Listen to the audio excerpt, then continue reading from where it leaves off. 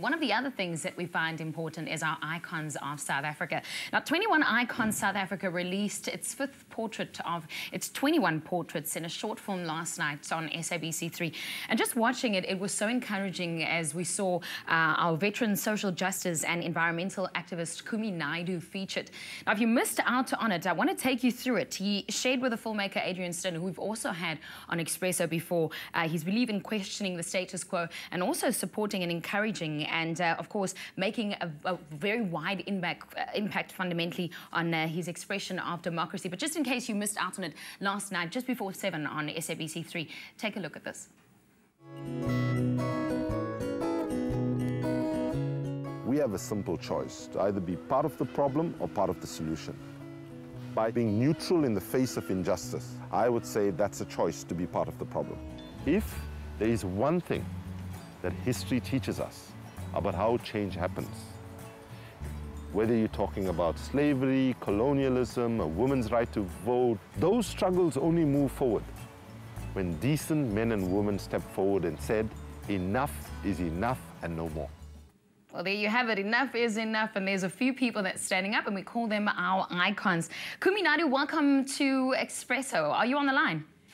Thank you very much for having me. Good morning to you. And Good morning. It's really great having you on the show. Now, we've had Adrian Steirn here before, and it's remarkable to see how he gets everyone to talk and also how he gets to depict these beautiful, beautiful portraits. Now, even watching it last night, he had the concept, or he wanted to depict a man who could go to the ends of the earth to stand up for democracy and also to stand up for what he believes in. You know, considering all of this, because when we think about it, it's a, it's a really painful situation, you know, pain uh, and injustice uh, you've seen so much. What makes you keep going? What makes you going as an activist? Well, um, you know, nothing that is really valuable we achieve without struggle in life, whether personally or in the public sphere. And uh, I, because I became an activist at a very young age, mm. at 15, uh, I was influenced by a lot of our leaders at that time, but also I lost a very close friend of mine uh, who, in my last conversation with him, he was murdered by the apartheid regime. Uh, Lenny Naidoo had, he said, asked me a question once, uh, what is the biggest contribution you can make And I said, giving your life. He said, no, it's not giving your life, but giving the rest of your life. Wow. And essentially what he was saying is the struggle for justice is a marathon, not a sprint. And the biggest contribution we can make is to be true to pushing for environmental justice, social justice, gender justice, and so on, until those struggles are won.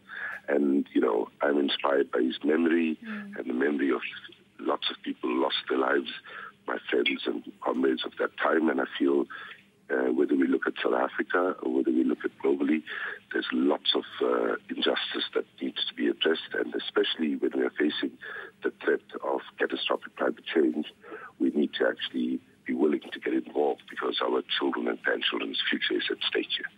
I hear you speak about this, and I mean, you're 48 years old, you've achieved so much, you're an inspiration to us as South Africans, and you've made an impact and also difference all around the world. Uh, I saw in the documentary also, and as short as they are, you made mention of the impact that your mother and also your daughter have uh, in your life, and I guess as your leader uh, for someone who fights for justice. In this Women's Month that we are celebrating, how important is it for you to also observe that, you know, empowerment of women in South Africa? Uh, it's critically important. Our democracy cannot be said to have been fully achieved unless we address gender equality in the fullest. Uh, one of the things that uh, I find very depressing is the very high levels of violence against women and children in our country. And unless women have safety, uh, the ability to uh, rise to the top of any particular endeavor in society, uh, I would say that our journey to democracy is incomplete.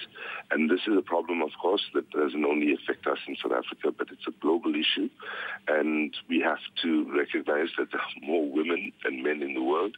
And unless uh, we have that reflected uh, in all our governing institutions, uh, we have not yet, you know, we deprive ourselves of the knowledge, wisdom, experience of more than 50% uh, of um, the world's population. Don't ask me why there are more women than men in the world, but biologically, they are statistically about 1% more than, than men in the world.